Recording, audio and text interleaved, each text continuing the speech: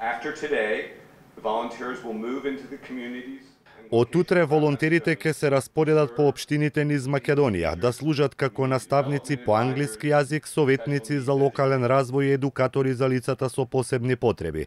Не само што волонтерите го представуваат најдоброто што му го нуди Америка на светот, туку со себе го враќаат и најдоброто, што може Македонија да го понуди на светот и на Соединетите Американски држави. Нашите заеднички напори за поддршка на процесот на социјално вклучување на сите граѓани во нашата држава ја зголемува потребата од волонтерска поддршка, како и пренесување на меѓународните искуства и до пракси за подобро работење на нашите институции.